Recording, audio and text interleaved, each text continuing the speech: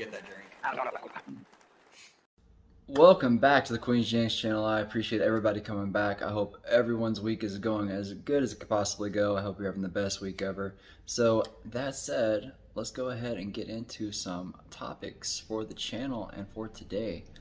Uh, first of all, shout out to Nigeria for missing the World Cup, but I'm still rocking with them anyway. But that said, that's a segue because we have a way too early World Cup prediction video coming soon, so stay tuned to the channel for that. If you're not subscribed, make sure you subscribe because we will be giving away another prize at 200 followers, subscribers. So make sure you hit subscribe. You don't want to miss out on that, and all you have to do is be subscribed to the channel. So that said, we are down to the final eight teams in the Europa League. Um, I actually enjoy watching the Europa League sometimes more than I do the Champions League because the Europa League has a mix of top clubs, clubs that sometimes you've never heard of, uh, sometimes clubs that should not be there.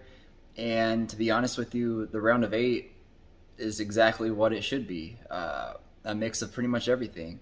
And I love watching this because you don't really ever know what you're going to get or what's going to happen. So, that said, uh, kick back, watch my prediction video, and it shouldn't take too long. Uh, we're looking at another short video, probably five to six minute range. So we'll go ahead and get right into the first matchup, which is the Bundesliga's RB Leipzig versus Serie A Atalanta.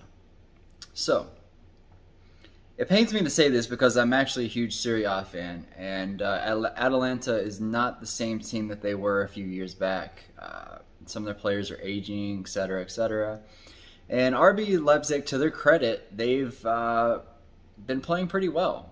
Uh, I didn't. I thought it was a strange decision that they fired Jesse Marsch like that, but to be honest with you, it's kind of worked out well for both sides as he's doing well with Leeds, and RB Leipzig has played very well lately. Um, they got the unfortunate draw of being in the same group as PSG and um, Man City and Club Bruges uh, I believe it was. Uh, so obviously they weren't going to move on. So unfortunately, I think if you'd put them in another group, they may even still be playing right now.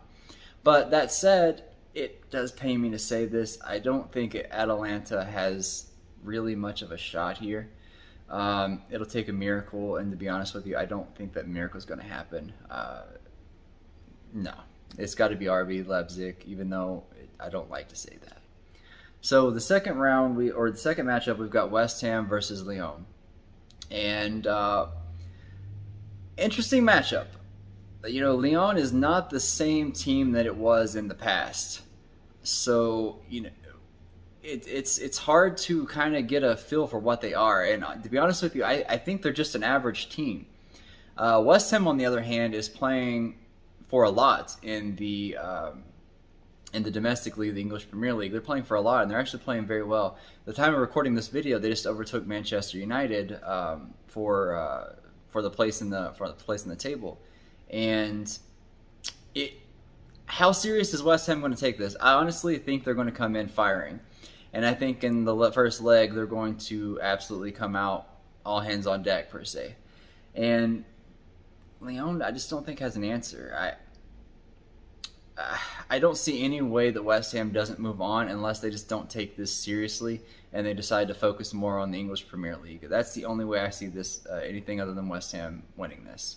So we'll go on to the third matchup, which is Frankfurt versus Barcelona.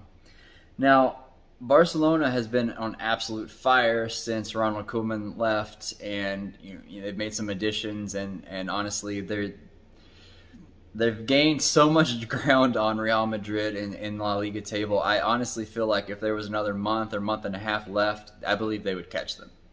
That's how good they've been playing lately.